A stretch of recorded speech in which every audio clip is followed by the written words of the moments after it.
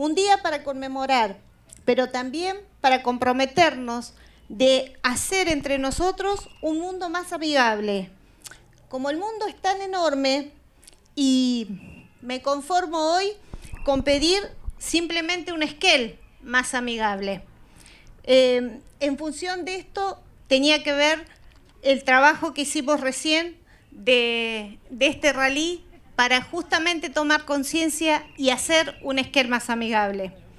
Vivir con una, con una discapacidad tiene sus limitaciones y aprendemos a vivir con ellas, pero si el entorno es empático hacia nosotros, todo es mucho más fácil.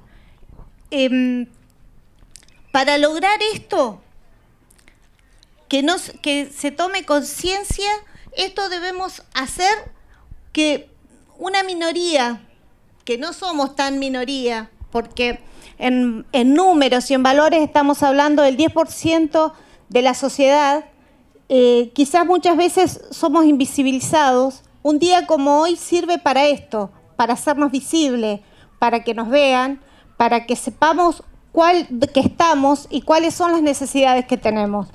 Pero también cuando hablamos de discapacidad, eh, yo lo que quiero rescatar es desde nosotros, desde las personas con discapacidad que hoy estamos acá, el compromiso de hacer respetar nuestros derechos, de hacernos visibles, y es la única manera de poder salir adelante, de poder em, que el resto tengan empatía con nosotros.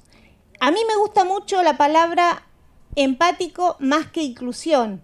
De inclusión muchas veces se habla y parece una utopía, pero realmente eh, es un tema muy complicado, muy difícil de lograr.